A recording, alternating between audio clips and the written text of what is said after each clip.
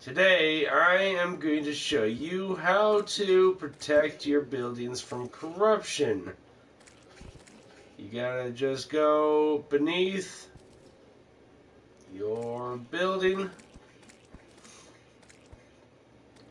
If it's a tree farm, you gotta make sure to have a layer beneath your trees.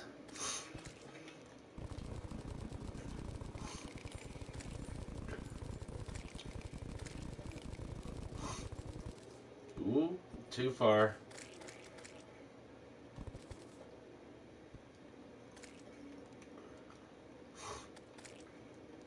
Okay.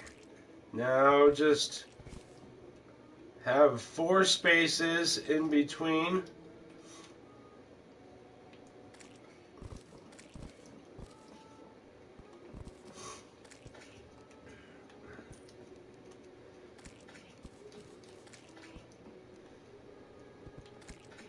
Typically, you don't have this extra space that I just did. But that's pretty much it. All you gotta do is that, and your building is completely safe from corruption.